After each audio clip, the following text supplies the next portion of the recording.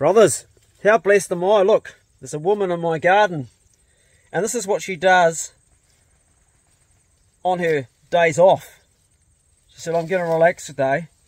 And she's tearing into blackberry. This path, I've been tripping over it for ages because I'm just a lazy bastard when it comes to work around the place. And you know that. And I'm not going to bullshit anybody.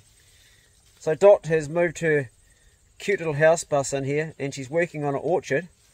And I've made a space for her and she's with us for a while. We've also got Lizzie, who's living, she's actually going through a real tough patch, and Lizzie's, she's really cool, but uh, she doesn't sleep very well, and she's struggling, so if you look after past my son's car there, that's where Lizzie is there. Anyway, today's message is uh, very short, very sweet, and it's about uh, you men that are around my age that run the risk of becoming old fuddy-duddies. Now, I ran the risk of becoming an old fuddy-duddy. What's an old fuddy-duddy? It's someone who's selfish. It's someone who has to have their things all in the right place. I'll turn a light on here. It's someone that uh, doesn't share much. It's someone who holds on to everything too tight. And it's someone that invariably ends up being bloody lonely and miserable. And I know because when I came back from Europe, I was used to always having everything my own way. And I come back to New Zealand to raise my kids, and I was turning into that that that fuddy duddy, that person that doesn't open up their home, that doesn't share everything they've got to other people.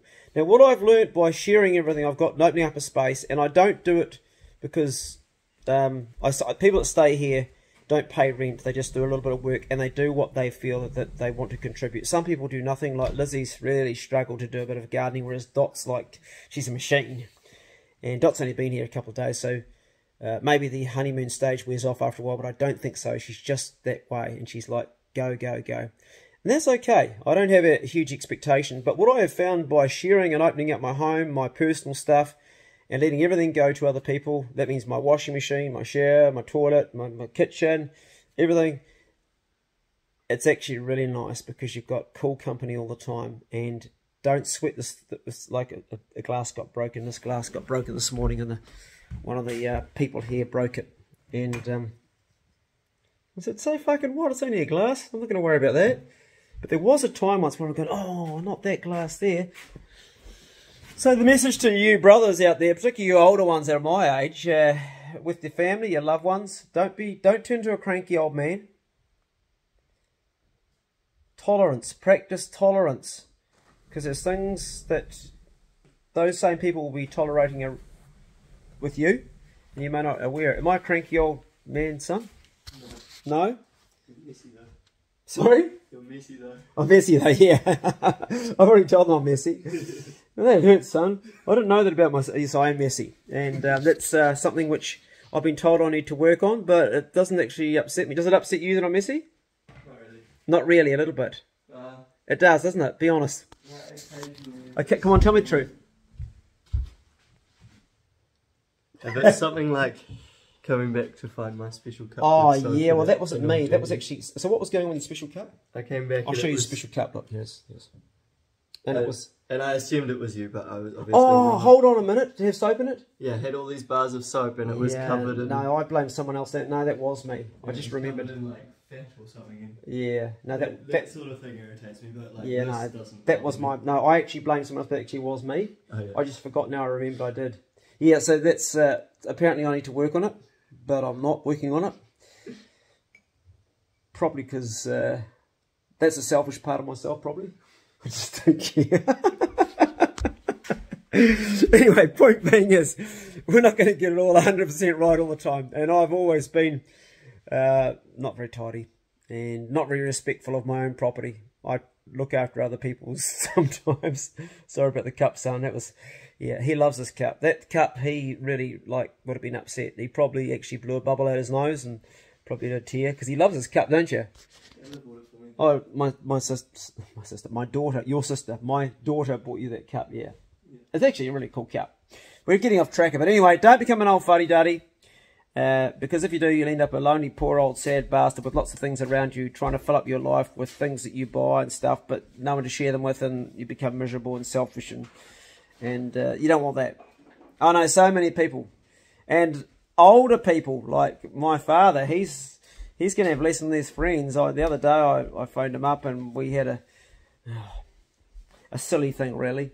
He just said, "Oh, that's bullshit, son," and it wasn't. And then I said, "Well, even if it is bullshit, you, um, the way that you're doing it, like you're having to be right all the time. That's another thing. Old, older people often, or some not older people, people in general often, there's some that just have to be right all the time. It's okay to be wrong. I don't being wrong, doesn't matter. But if you have to be right all the time, then you don't leave room for the other person to talk freely. And I said to my dad, Dad, it doesn't matter if I'm right or wrong anyway. It was a silly bloody discussion. It was about oysters growing on the bloody houseboat. And um, I thought, geez, here you are. You don't have many friends or any family around you because you distance yourself from everybody. And you're going to end up very, very much alone. I'm even finding it difficult to do my weekly visits with the way you're being so grumpy. So don't be grumpy, old man. Don't turn into a grumpy old man because people will soon pull away from you.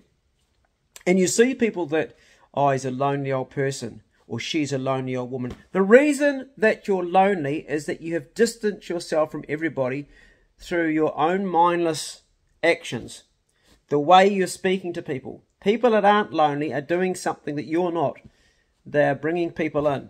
And, I have run the risk of becoming a lonely old man by doing that. So just open your heart up, open everything you own up, everything that's material, share it. It's all going to go in the end anyway. You're going to go in the end. So today's message to the brothers is don't become a lonely old brother, a lonely old man. Open your share everything you have and be free with your energy and you'll be loved and you'll always have someone to talk to. I think that's all I want to say. Go steady. And uh, I'm still can't smile without hurting. It's healing up slowly. My stitches have come out in my jaw. I've got six stitches have come out since my surgery. But that's today's message. And uh, and also I'll end up just a message my son. It's okay to be messy sometimes. Sorry about your cup. I feel shit now. I know he loves that cup.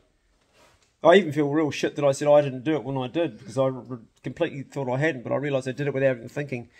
Yeah. I got a little bit upset about it, and then I was like, well, actually, it takes like three seconds to clean it. And... Take that three seconds. You, you, you're upset enough to tell me about the cup. yeah, and, and, and, and I was careless enough to even brush it off like I didn't do it when I did, so there we go. We'll probably have a hug over this later on. See you guys. Have a great day.